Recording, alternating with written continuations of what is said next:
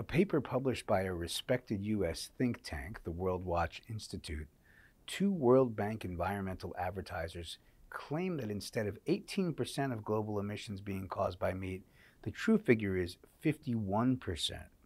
How does eating animal products contribute to 51% of global greenhouse gas emissions? Well, that report, it's controversial. It hasn't been backed up by a lot of other um, subsequent reports, but they're essentially saying that the basis for the original UN report was a bit off. It wasn't 18%, they're saying 51%, and they're factoring in some other components. Um, but I think the big thing we have to look at is what is the true cost of deforestation and all the land use that goes to livestock production.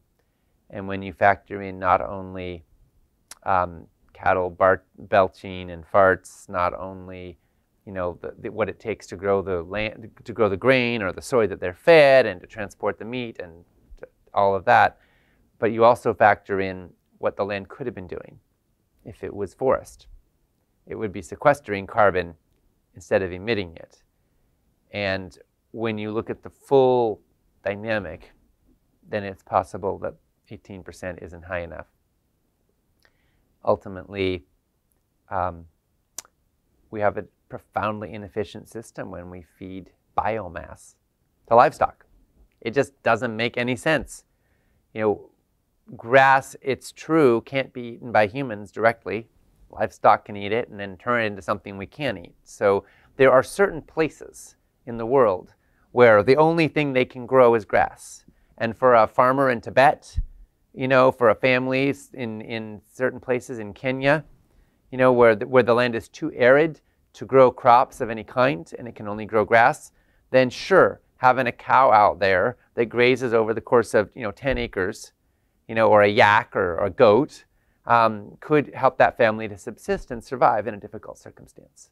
But for those of us who live in cities, for those of us who live in homes and have a part of the modern industrialized world and are buying our food from stores, for the most part, those are coming from very large operations. And for the most part, those very large operations are directly involved in the destruction of the natural world so that we can create more food for our voracious appetites for meat and animal products. And the destruction of the natural world has so many impacts from a climate perspective. And so at the end of the day, if you care about the future of our climate, if you care about the future of that our children will inherit, then I think you now is the time to light a fire in you that says, I want to participate in a healthy, ethical, and sustainable future for humanity. And now is the time to step forward and say, let's not participate in modern industrialized meat production because it is a central driver of everything we're trying to change. In 1860, the average age of the onset of puberty in girls was 16.6 years. In 1920, it was 14.6. In 1950, 13.1. 1980, 12 and a half. And in 2010, it had dropped to 10 and a half. Similar sets of figures have been reported for boys, albeit with a delay of around a year. How does eating animal products contribute to the earlier age of the onset of puberty? My heart just kind of breaks with the human impact of the early onset of puberty because kids are being flooded with hormones that they are not ready for. And uh, so many girls at the age of 10, 11, 12, they're just starting to figure out who they are. And so many now are facing serious issues with self esteem, feeling like they don't belong. Many of the girls I know are suicidal because they're filled with a lot of self hate.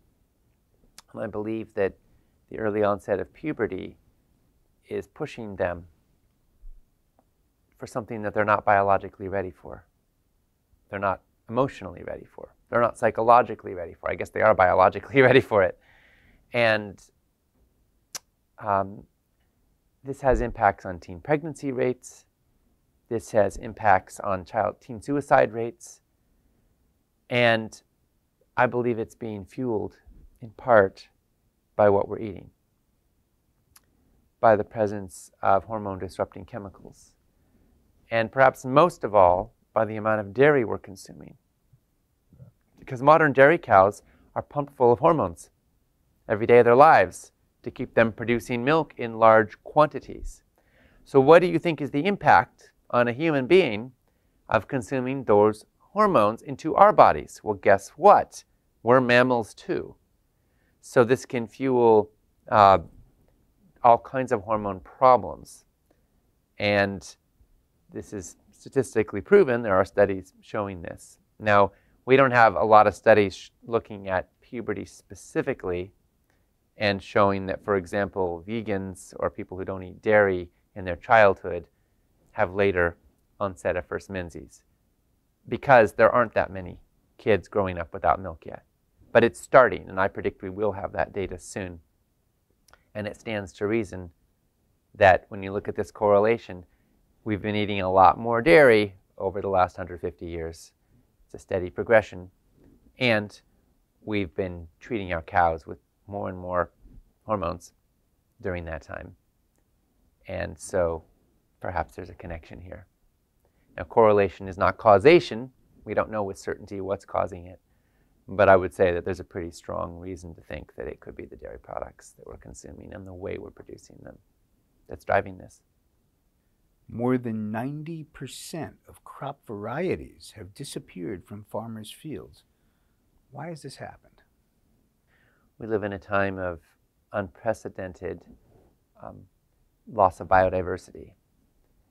That's showing up in the natural world and it's also showing up in the farmed world. As certain high yield crops become the norm, as monocropping becomes the norm, and we lose something profound in that process.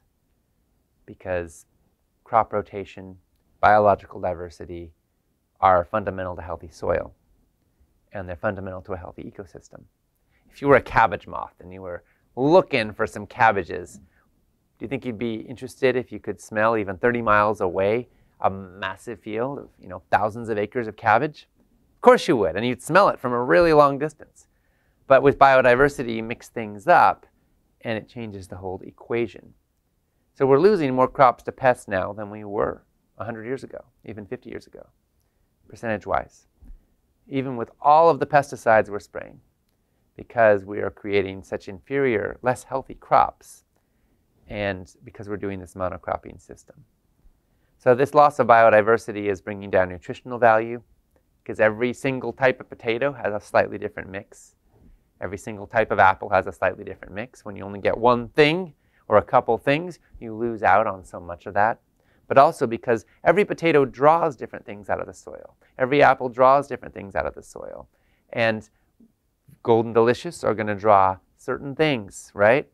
So when you, when you have a whole ecosystem that's getting depleted of the same nutrients that that one crop needs, then other nutrients may be there, but they're not getting tapped. So then essentially this, the nutrient value of our crop is going down, down, down because the soil is getting depleted of it. So biological diversity is critically important. This is one of the good reasons to support local farms, family farms, sustainable farms, to grow a nice garden, to compost, to support composting, whether it's on a municipal level or in your own backyard, because all these ways can help to regenerate the soil and add to the biological diversity of our ecosystems.